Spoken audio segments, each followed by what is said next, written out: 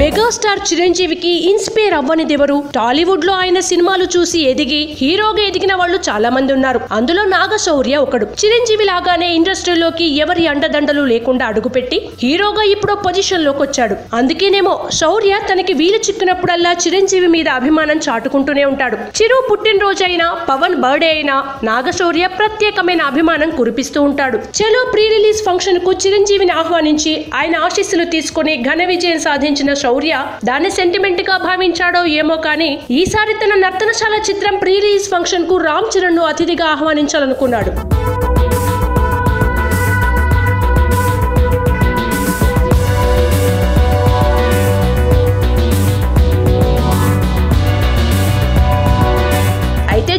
Busy schedules కారణంగా వెళ్ళడం కుదరలేదు. వీలున్నప్పుడు మరోసారి తప్పకుండా వస్తానని నాగశౌర్యకి ప్రామిస్ చేశాడు చెర్రీ. ప్రామిస్కు అనుగుణంగానే ఇటీవల చెర్రీ నాగశౌర్యతో దాదాపు ఒక గంట సేపు భేటీ అయ్యాడు.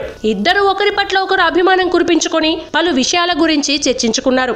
రంగస్థలం బ్లాక్ బస్టర్ హిట్తో ఊపు మీదున్న చెర్రీ అదే ఉత్సాహంతో బోయపాటి శ్రీను సినిమాలో నటిస్తూ మరోవైపు తండ్రితో సైరా నరసింహారెడ్డి చిత్రాన్ని నిర్మిస్తూ చాలా బిజీగా ఉన్నాడు. అలాంటి చరణ్ నాగశౌర్య లాంటి హీరోతో గంట సేపు గడపడం అంటే సాధారణమైన విషయం కాదు కదా. మెగా ఫ్యామిలీ పట్ల నాగశౌర్య చాటుకుంటున్న అభిమానాన్ని చెర్రీ ఈ రకంగా గౌరవించాడని అనుకోవాలి. మరి నాగశౌర్య తన మెగా అభిమానాన్ని ఎంతకాలం కొనసాగిస్తాడో చూడాలి.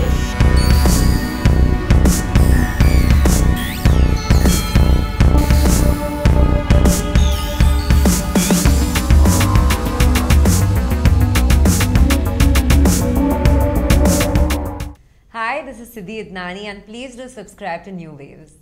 ఇలాంటి మరిన్ని మంచి వీడియోలు కావాలని కోరుకుంటున్నారా? అయితే పక్కనే ఉన్న గంట సింబల్ను క్లిక్ చేయండి. అలాగే సబ్స్క్రైబ్ చేయండి.